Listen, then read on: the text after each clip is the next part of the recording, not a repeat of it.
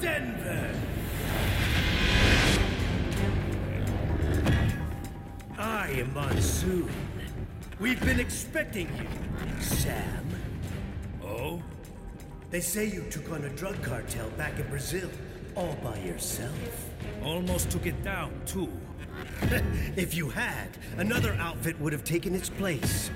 One way or another, it always goes back to business as usual. You realized that, didn't you, Sam? That's why you left. I was out for revenge, and I got it. Well then, let's see what you got now.